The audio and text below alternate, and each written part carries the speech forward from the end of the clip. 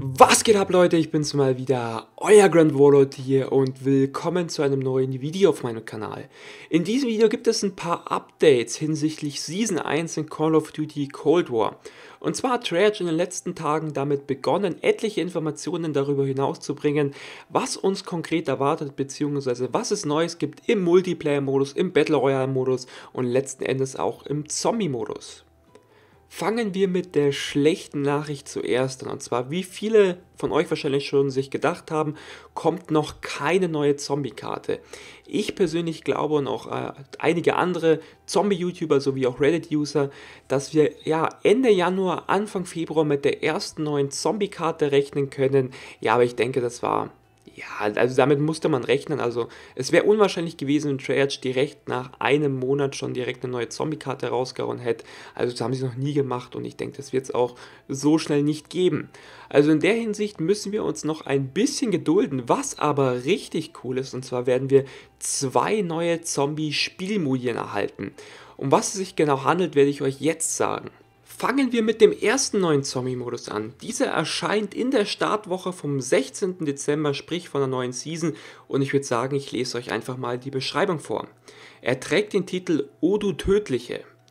Dieser zeitlich begrenzte Feiertagsmodus verwandelt die Maschine von einem Winterwunderland zu einer Winterwüste und allerhand Frohsinn sorgt für die richtige Festtagsstimmung.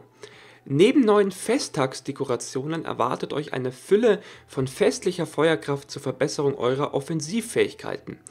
Darunter Schneebälle, die Zombies einfrieren können, Strumpf-Power-Ups, Geschenke, die ihr gefrorenen Feinden abnehmen könnt und besondere Überraschungen im Inneren von Schneemännern. Was auch noch ganz cool ist, und zwar haben wir die ersten Bilder schon erhalten, wie diese Dekorationen aussehen. Zum einen bekommt der Pesthund ein neues Outfit, was ich ziemlich cool finde, seht ihr jetzt auch im Hintergrund. Und der Megaton-Zombie bekommt auch noch eine Mütze aufgesetzt. Das können wir am Anfang in der Übersicht für die Season 1 erkennen. Schreibt mal in die Kommentare, was ihr von diesem Modus haltet. Und an dieser Stelle muss ich auch sagen, ich finde es ziemlich cool, dass ja auch diese zeitlich begrenzten Events jetzt den, jetzt den Zombie-Modus involvieren. Normalerweise war es ja immer so, dass der Battle Royale-Modus oder der Multiplayer-Modus irgendwie mit einbezogen worden sind. Aber jetzt bekommt auch der Zombie-Modus was ab. Finde ich ziemlich cool an dieser Stelle. Machen wir weiter mit dem zweiten Modus. Dieser wird im Verlauf der Season erst erscheinen. Der zweite Modus trägt den Titel Aufgeputscht. Und auf diesen Modus freue ich mich richtig. Wie ich schon gesagt habe, der kommt nicht direkt zu Beginn der neuen Season, aber im Laufe der Season wird er released. Aufgeputscht. Ein zeitlich begrenzter Modus sowohl im wörtlichen als auch im sprichwörtlichen Sinne. Achtet auf die Zeit und auf das Töten von Zombies. Ihr explodiert, wenn ihr zu lange keinen Untoten niederstreckt.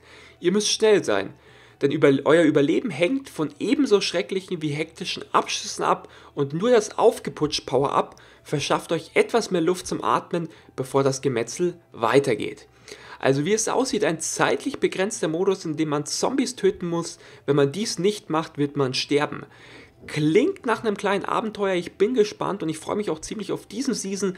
Persönlich glaube ich, dass dieser, äh, persönlich glaube ich, dass dieser Modus interessanter sein wird als der erste, aber ich ich meine, wir können uns nicht beschweren, das Ganze ist komplett kostenlos und ich finde es cool, dass der Zombie-Modus durchgehend supported, also unterstützt wird. Das heißt, wir bekommen jetzt auf jeden Fall zwei neue Spielmodien im Laufe der nächsten Season und ich denke, wenn die Season zu Ende geht, geht es dann weiter mit einer, einer neuen Zombie-Karte, wie zum Beispiel dem Kino der Toten Remake oder aber Firebase C, über die habe ich auch schon ein Video gemacht. Was auch noch ganz interessant ist, und zwar, weil unter einem meiner letzten Videos die Frage gekommen ist, wie es aussieht mit Splitscreen. Und zwar werden wir einen Splitscreen-Modus für zumindest zwei Spieler auch in der kommenden Season erhalten. Und genau, finde ich eigentlich auch ziemlich praktisch, wenn man ein Kollege dabei ist. Und ja, in dem Sinne war es das von meiner Seite. Schreibt gerne in die Kommentare, was ihr von diesem Update, von diesem Season-Update für den Zombie-Modus haltet.